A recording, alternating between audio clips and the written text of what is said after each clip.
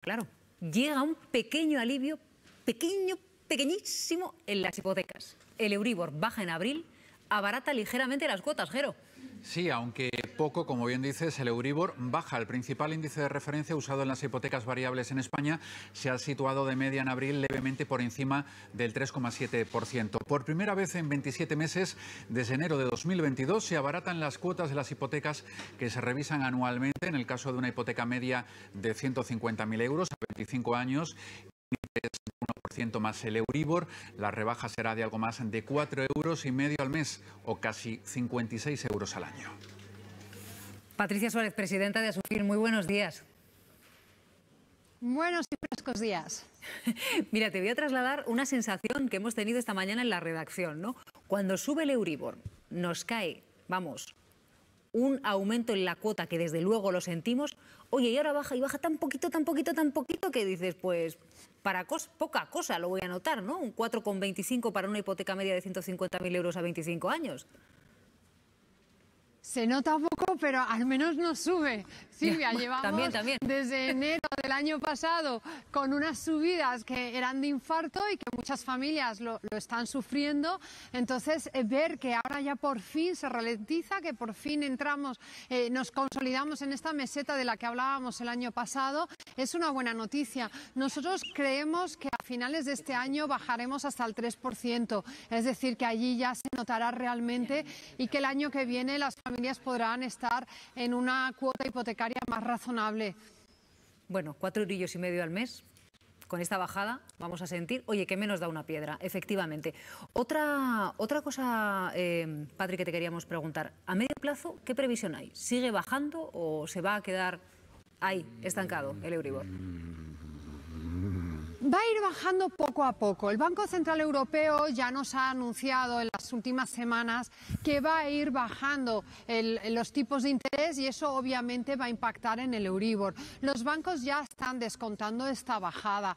Por tanto, eh, no va a ser una bajada tan rápida como la que vivimos el año pasado, la subida, sabes que eh, sube muy rápido y baja todo lento, bueno, pues así lo vamos a tener, pero al menos sí que veremos cómo poco a poco bajará e incluso el año que viene pues probablemente veamos un Euribor por debajo del 3, que sería lo deseable.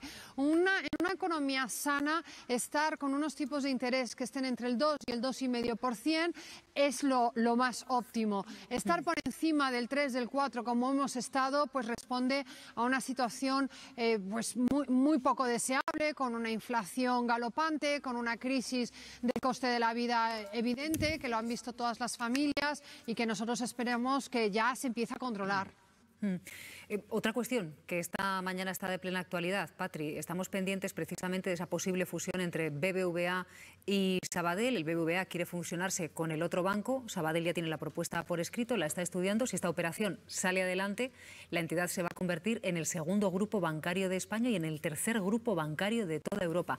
Hablábamos con los sindicatos, pendientes de si esto va a afectar o no a ambas plantillas. Y los consumidores nos están trasladando otra duda, Patri, si esto afectaría el número de sucursales Sí, ya te lo digo yo que sí. En los últimos años hemos tenido una concentración bancaria que no ha terminado, lo estamos viendo, y esto ha supuesto reducción de empleados y, por tanto, una peor atención a los clientes, reducción de, oficinas porque tienen que optimizar y en la fusión habrá oficinas que estén demasiado cerca y las cerrarán y a nosotros lo que nos preocupa son dos cosas desde el punto de vista del consumidor. Por un lado, que esta, toda esta reducción eh, eh, repercuta en una peor atención y en unos problemas, sobre todo en el ámbito rural, que ya lo hemos hablado tantas veces, de exclusión financiera, de tener que hacer kilómetros para llegar a tu sucursal.